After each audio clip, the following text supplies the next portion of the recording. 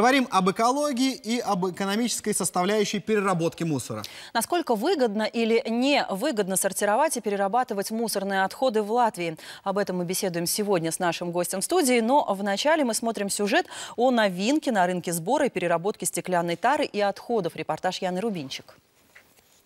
Получается, что жителям до, до ближайшего контейнера просто очень далеко и, так скажем, лень выигрывает. Оборот стекла в Латвии в год составляет 55 тысяч тонн. Обратно для переработки собирается примерно 36 тысяч тонн. Таким образом, 14 тысяч тонн ежегодно идет бытовой мусор или оседает в море и лесах. Евросоюз такая ситуация не устраивает. Требования Европы строгие и становятся все строже. Есть отдельные требования, чтобы перерабатывалось 65% от общего количества стекла на рынке. До 2030 года придется перерабатывать еще больше. Чтобы это было реально, надо сделать первый шаг – сортировать мусор еще в домашних хозяйствах.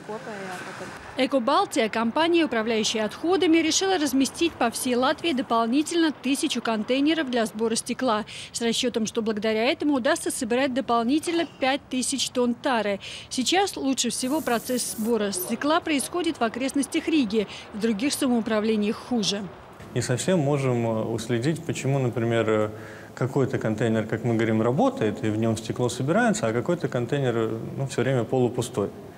И, и проблема тогда делать маршруты, потому что одни все время звонят, вывезите чаще, чем по маршруту, а другим все время пустой. И тогда это исследование нам помогает именно поставить контейнера в тех местах, где они будут работать. Чтобы понять, где лучше разместить контейнеры, будет проведено специальное исследование. За основу возьмут активность пользователей мобильных телефонов.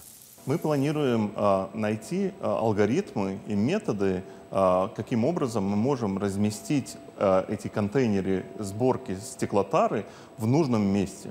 Это значит, что, например, на карте мы смотрим расположение улиц, мы смотрим э, статистику, где, э, и, где фактически является активность мобильных пользователей, и э, анализируя эту информацию, мы сможем э, определить определенные лучшие точки сбора, э, более эффективного сбора стеклотары. Сейчас стеклянную тару везут на переработку в Эстонию и Литву.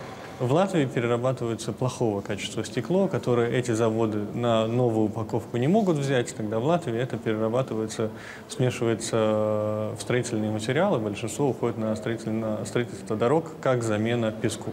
Но в скором будущем и в Латвии появится завод по переработке стекла. Его построят на деньги европейских фондов в районе ТЭЦ-2 под Ригой. Срок окончания строительства – 2022 год.